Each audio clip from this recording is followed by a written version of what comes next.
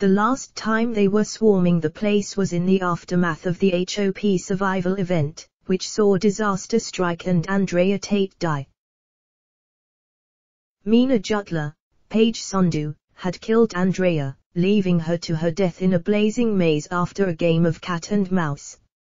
And when the police closed the investigation and declared the tragedy an accident, Meena once again got away with murder, having already killed teenager Leanna and also a so-called friend from her past.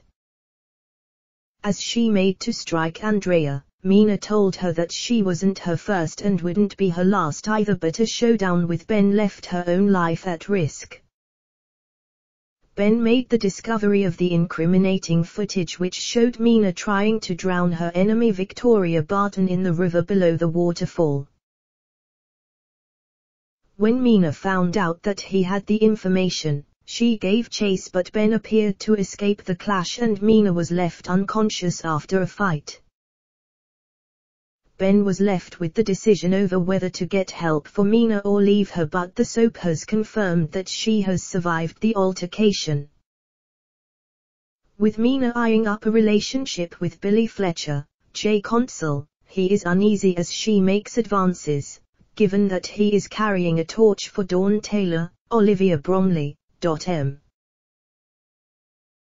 As Billy tries to hide his true feelings from Meena, he and Dawn grow closer after talking things through. But while Meena is well known for taking drastic action when pushed to the sidelines, the police may be set to be a bigger fish to fry right now. As questions are asked, has Ben delivered the evidence he gathered, leaving Meena with a lot of explaining to do? Or has something worse happened, with Meena forced to kill once again to keep her secrets under wraps?